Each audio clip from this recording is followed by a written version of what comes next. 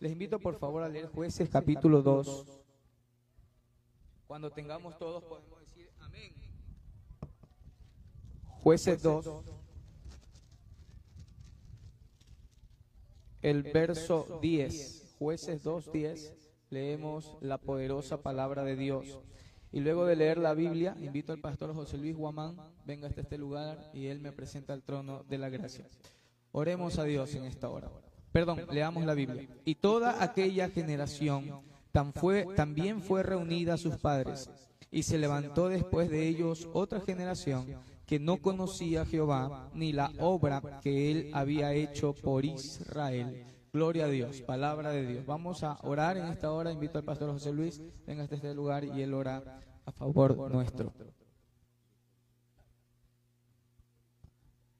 Señor Jesús, Dios Todopoderoso, gracias por la oportunidad que nos concede de estar reunidos en esta noche, alabando y exaltando tu glorioso nombre en esta hora, Padre bendito.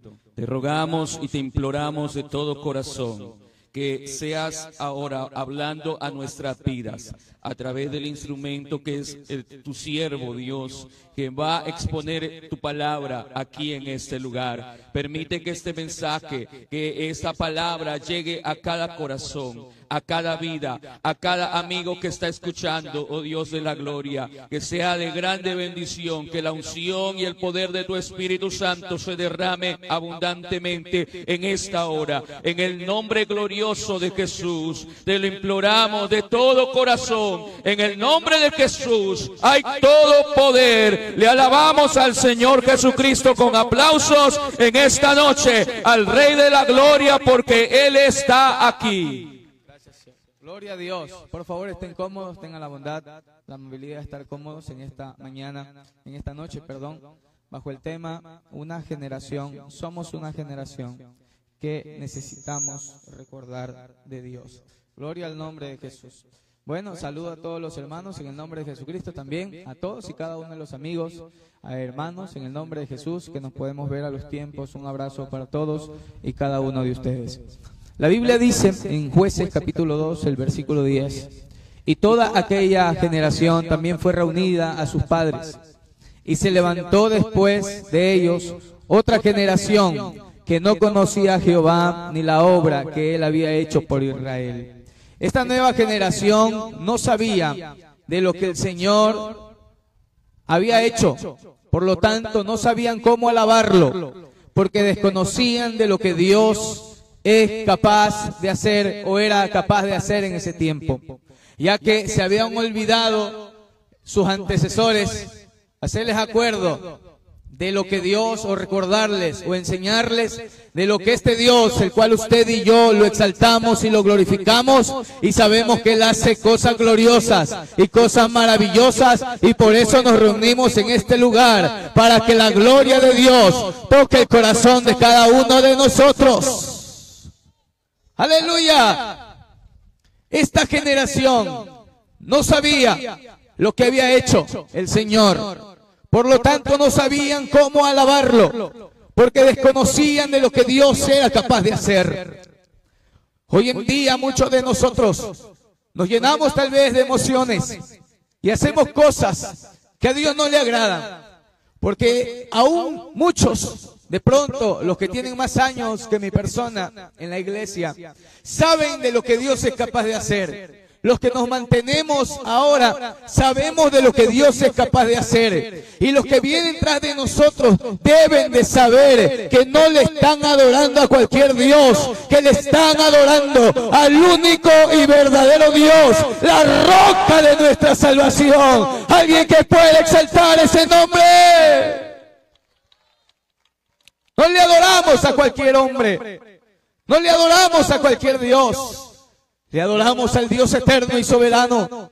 Y no necesitamos llenarnos de muchas emociones para saber de lo que Dios es capaz de hacer. No necesitamos llenarnos de muchas cosas para saber que un corazón contrito y un corazón humillado, Dios no lo rechaza jamás. Sabemos que la gloria no es para el hombre, sino que la gloria es para el único y verdadero Dios. Y la vida eterna, Jesucristo, el Dios todopoderoso. Aleluya. Alguien que pueda exaltar a Dios. ¿Verdad que no es necesario llenarnos de emociones para que Dios nos toque? ¿Amén o no? Amén. No es necesario llenar de tantas cosas. Lo que Dios no rechaza me dice la palabra de Él, es un corazón contrito, un corazón contrito, un corazón contrito, un corazón contrito, un corazón contrito y humillado, es decir, alguien que se doblega, alguien que se pone en la presencia de Dios, aleluya.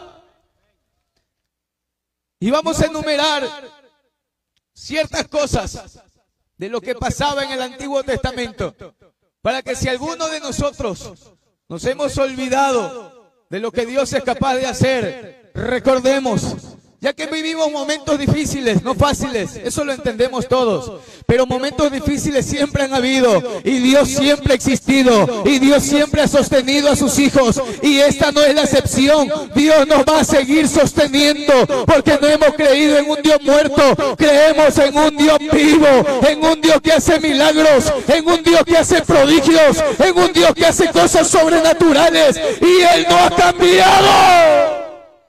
Aleluya.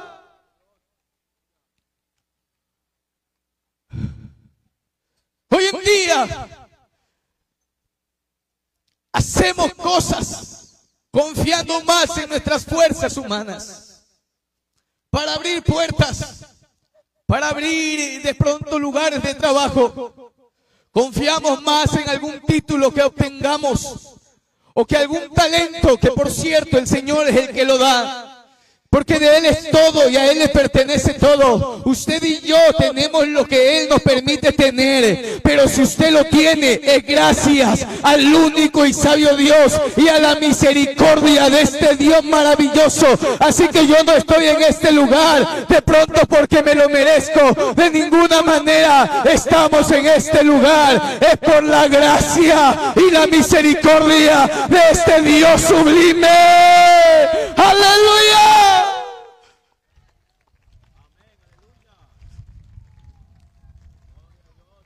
Yo conozco de alguien que abre puertas y cierra puertas.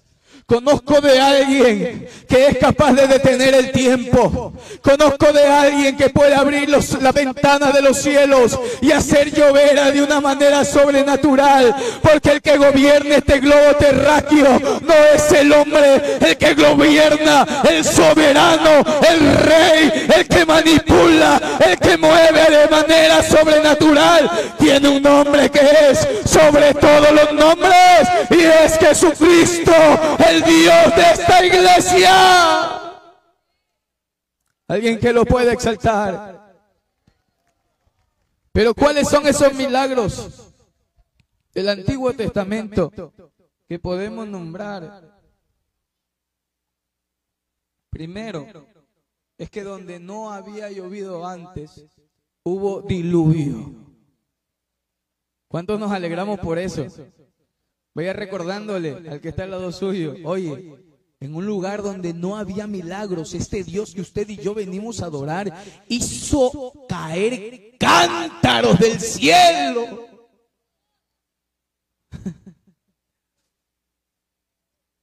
Y al nuevo, el que está llegando, y gloria a Dios, sepa que no le adora a cualquier Dios. Aquí le adoramos al verdadero Dios y la vida eterna, aquel que nos llena con su poder, con su Espíritu Santo, cuando le damos la gloria, la honra y la alabanza. Aleluya.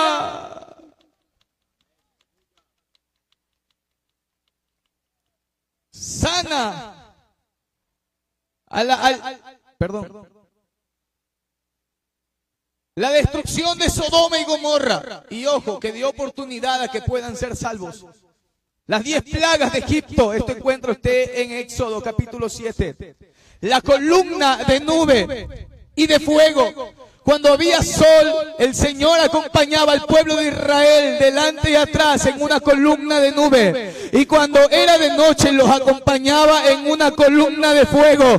Porque algo así es nuestro Señor. Él es fiel y nunca nos abandona. Aunque nosotros seamos infieles, aunque nosotros dudemos, Él no abandona a nadie. Él no deja atrás a nadie. Él no deja a un lado a nadie. Para Él todos y cada uno de nosotros somos importantes. Y aquí quiero decirle algo en esta hora. Usted y yo valemos más que todos los tesoros de esta tierra. No hay nada más importante para Él que usted y yo. Así que adorémosle a Él con todo el alma. Aleluya. Hubo maná, codornices, Hubo fue, agua donde no había que comer. El Señor proveyó. Así que si de pronto estás pasando por una situación similar, créelo, no ha venido al lugar equivocado. Ha venido al lugar perfecto. Porque aquí el que abre las puertas no es el hombre. Aquí el que pone paz en el alma es Jesucristo. Es Jesucristo. A Él dele toda gloria en esta hora. Divide el mar en dos partes. Y esto sí que me fascina y me encanta. Porque una cosa es cuando de pronto usted pasa por un río y, está seco. Usted no pisa en seco. Usted pisa en húmedo. Y los pies se le entierran, se le hunden. Pero quiero decirle algo. El Dios que adora esta iglesia no hace las cosas a medias. El Dios que usted y yo tenemos hace las cosas de una manera sobrenatural. Y no podemos dejarlo en el olvido. No, no, no, no, no. De ninguna manera. No podemos ser como esa generación después de Josué que se olvidaron de lo que Dios había hecho. Esta iglesia no se olvida de lo que Dios ha hecho, hace y hará. Y por eso vivimos agradecidos y por eso perseveramos. No por emoción.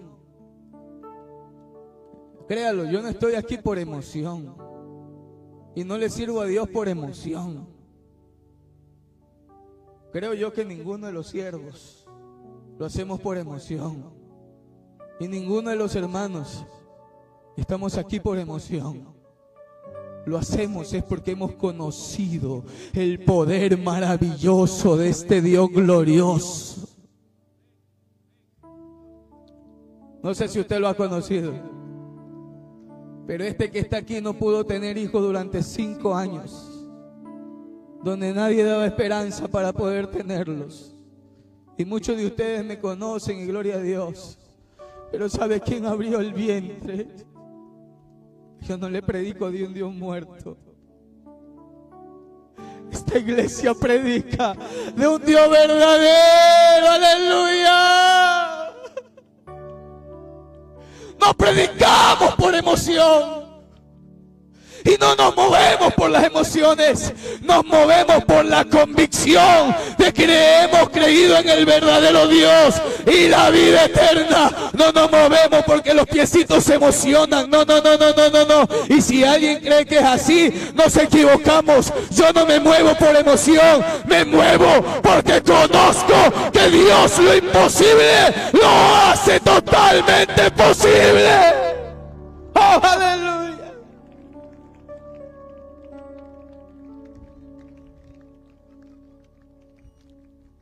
Por cuestión de tiempo, les leo. Luego de eso pasan el río Jordán y es dividido. Ah, por cierto, en el mar rojo pasaron en seco. ¿Usted sabe lo que es eso? Ahí donde usted está, pise, así estaba el pueblo, así pasó el pueblo, pasó en seco. Donde el hombre hace cosas a medias, Dios lo hace completo. Así que si usted y yo creemos en Dios, algo del cielo va a suceder en esta hora. No algo a medias, no algo a medias. Algo del cielo va a acontecer en esta hora, porque no nos hemos reunido de lejos para perder el tiempo, nos hemos reunido para ver la gloria de este Dios maravilloso. Namán es sanado de la lepra. Por cuestión de tiempo, en el Nuevo Testamento, hermanos, recuerden, usted lo ha leído, pero por rato se nos olvida, ¿cierto? Hermanos que tenemos años en la iglesia, lo leímos, lo entendemos, pero por rato se nos olvida. Y cuando estamos enfermos buscamos primeramente la medicina. Cuando antes de la medicina, aleluya, y no estoy en contra, pero antes de la medicina está el poder maravilloso de este Dios glorioso. Lo que no puede hacer el hombre, Dios sí lo puede hacer.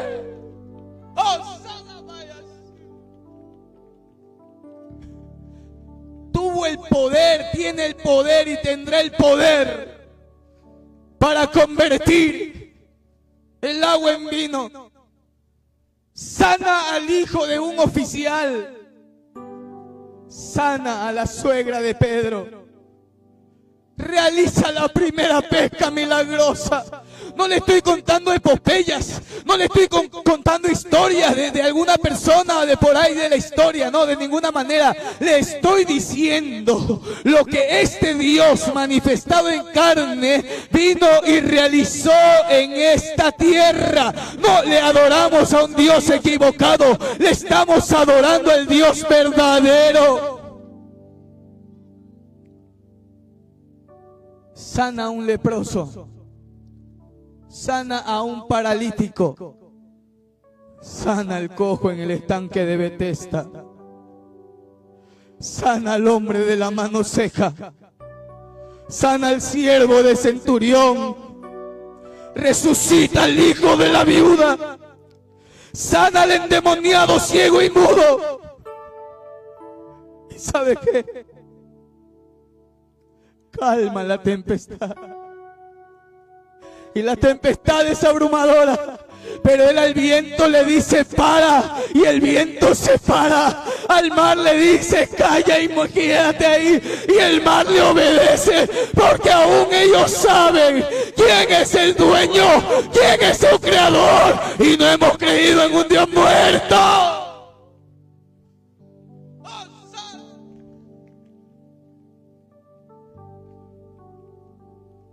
Sana al endemoniado en Gadara. Sana a la mujer con flujo de sangre. Resucita a la hija de Jairo. Alimenta a más de cinco mil personas. Jesús. Camina sobre el mar. Alimenta a cuatro mil personas realiza la valla, si la valla, la valla,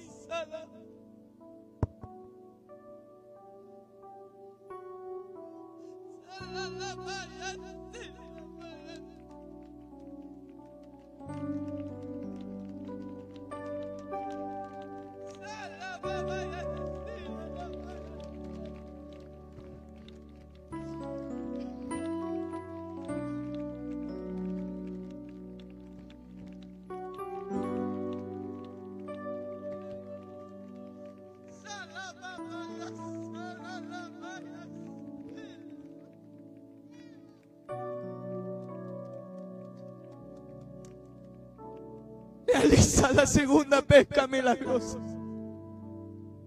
Sana diez leprosos.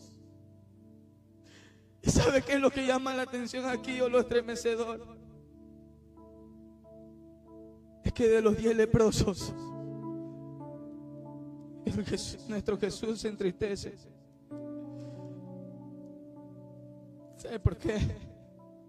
Porque Él no sanó solamente a uno, él, salvó, él sanó a, a los diez. Pero ¿sabe cuántos de ellos regresaron por agradecimiento? Solamente uno regresó por agradecimiento. Agradecimiento a aquel que es verdadero. Aquel que no, no, mira, alguien que es agradecido no se mueve por emoción, créalo. No nos movemos por emoción, nos movemos por gratitud a lo que Dios ha hecho en nosotros. Porque el que primero da no es el hombre, el que primero da es Jesucristo. Aleluya.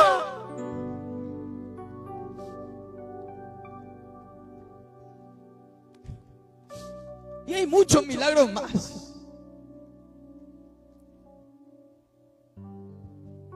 Pero estoy, le estoy hablando a alguien en esta hora de parte de Dios. No crees, no cree hermano, hermana, que tenemos al mismo Dios. Hermanos, no callemos lo que Dios ha hecho. No callemos lo que Dios hace. Y por la fe no callemos lo que Dios va a hacer. Hablemos de lo que ha pasado en la Biblia. De cómo se alaba a Dios. De cómo se glorifica a Dios. De cómo se exalta a Dios. De cómo se bendice a Dios.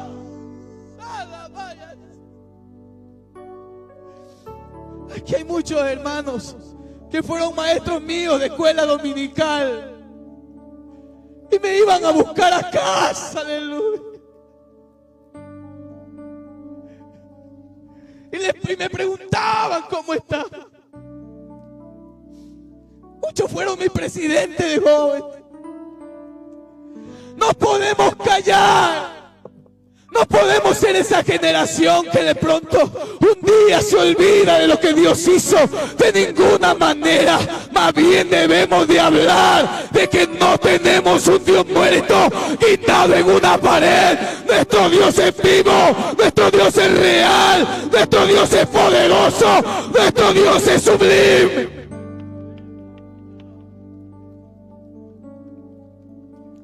Debemos de hablar y enseñarle a los otros lo que dice la Biblia.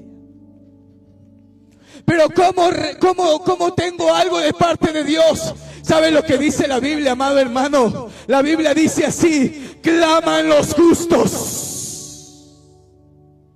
Habrá un justo en esta hora. Habrá alguien que comience a clamar a Dios. Una vez, una vez mi Señor me regaló el tema, el clamor más que la oración. Porque cuando usted clama, usted desnuda su alma en la presencia de Dios. La Biblia dice, claman los justos.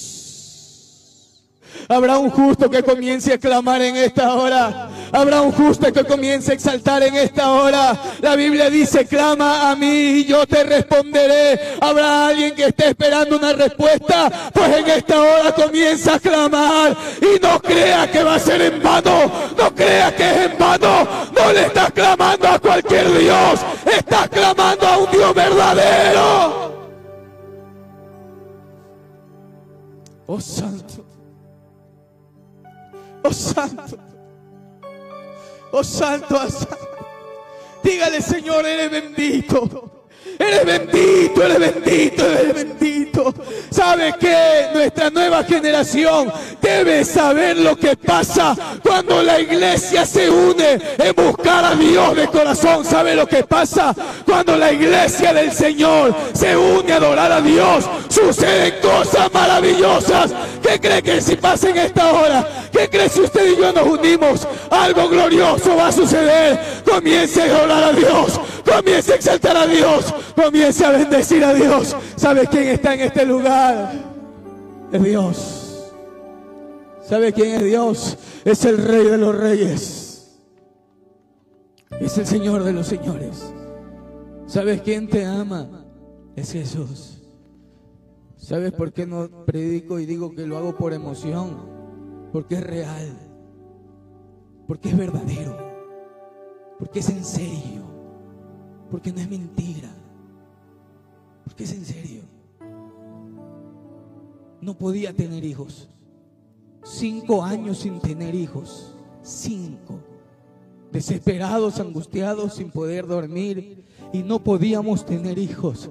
Pero ¿quién cree que hace la obra? ¿Quién cree que hace la obra?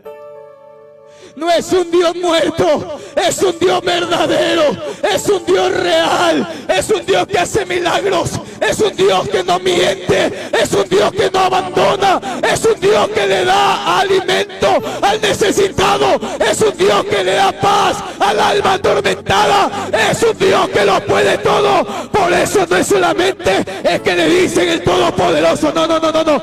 Él es el Todopoderoso. Habrá alguien que lo cree en esta hora. Habrá alguien que lo cree en esta hora. Habrá alguien que lo cree en esta hora. Que Él es el Todopoderoso. Habrá alguien que lo cree en esta hora que se quiera poner sobre sus pies. Habrá alguien que se quiera poner sobre sus pies en esta hora. Y quiera venir a este lugar y decirle al Señor, Señor, tú eres el poderoso. Tú eres el poderoso. Señor, tú conoces mi necesidad. Señor, tú conoces mi angustia. Señor, tú conoces mi aflicción. Señor, tú que lo conoces todo. Y tú que lo sabes todo. No me puedo olvidar de lo que tú eres capaz de hacer. No me puedo callar de lo que tú eres capaz de hacer. No puedo hacer silencio de lo que tú puedes hacer. Porque no puedo ser como esa generación que se olvidó de lo que Dios era capaz de hacer. Usted y yo no nos podemos olvidar de lo que Dios es capaz de hacer, iglesia. No se puede olvidar de dónde Dios lo sacó y a dónde Dios lo tiene. No se puede olvidar que de pronto algunos de nosotros tuvimos nuestros hijos y se enfermaron. Y a muchos de nosotros nos le dijeron, ¿sabe qué? No se puede más con su criatura, no se puede más con su hijo. También pasé por eso, también pasé por esa situación. Pero ¿sabe quién es el que sostiene? ¿Sabes el que ayuda? ¿Sabes el que da sanidad? No es el hombre, no es el hombre. ¿Sabes quién va a traer a tu esposo a los pies de él? ¿Sabes quién va a traer tu familia a los pies del Señor? No es el hombre, es la y la buena voluntad de este Dios maravilloso.